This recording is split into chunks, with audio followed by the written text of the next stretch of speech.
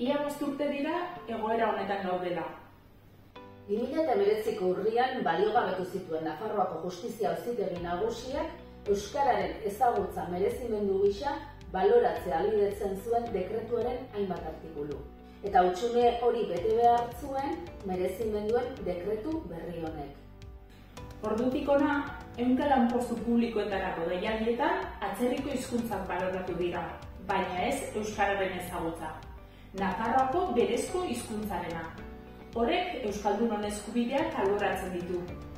2022an kontseiluak behartokiarekin batera zuzenketak egin zizkion dekretu honi, baita erregistratu ere, baina ez dira kontuan hartu. Urte berean, mila eta zazpireun herritarren eskaerak aurkeztu genituen Nafarrako gobernuko erregistroan. Eta maiatzaren zazpian, milaka herritarrek iruñeko kaleak hartu zituzten.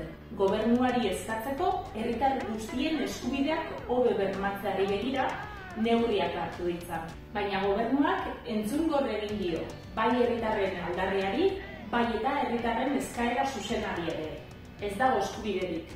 Egun, Euskararen ezagutza eskatzen duten lanpostu kopurua ez da uneko idure egisten. Hau da, lanpostuen uneko larogoita mazazpiak ez du Euskarazko harrera bermatzeko neurririk. Eta beraz, merezimenduetan neurri egokirik ezartzeak herritarren eskubideen urraketa sistematikoa are eta larriagoa egitea dakar. Baina zein da diskriminazio honen jatorria?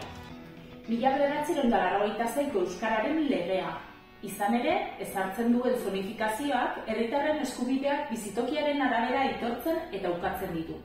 Hau da, lezakan, iruñan edo tuteran, ere batetik bestera pasatuz, herritarrek eskubideak altzen dituzte. Gainera, gobernuak onartzeko asmoa duen dekretu berriaren ondorioz, legearen araberako eremu euskaldunean oldarraldi judizialaren bidez epaitegiek ezarritakoak baino neurri atzerakoiagoak ezarriko dira. Era berean, eremu mistoan dauden zerbitzu zentraletan euskaraz hartua izateko aukera murriztuko da. Zerbitzu horiek nafar guztientza direnez milak herritarren eskubidea ukatuz. Eremu mistoa delakoan, lehen, Euskararen ezagutza administrazio osoko lanpostu publikoen euneko iru eta euneko zei artean zoiik baloratzen zen. Eta orain, gutxieneko balorazio orokortu hori ere baztertu dute. Euskara, lanpostu gutxi batzuetan besterik ez da merezimendu izango. Kezkagarria, osasun nintzen ere, orokortasunez ez baloratzea. Ere ez Euskaldunean, Euskara ez da bat ere baloratuko. Ez da merezimendu soil gisa ere.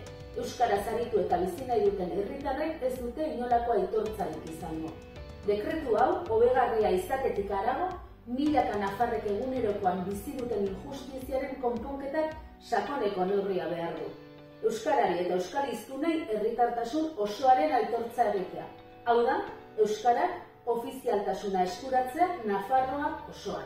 Dekretu berri honek egungo zein etorkizuneko herritarren berdintasuna mespresatzen du eta herritarren eskubideen urraketa betikotzen du. Onarte da,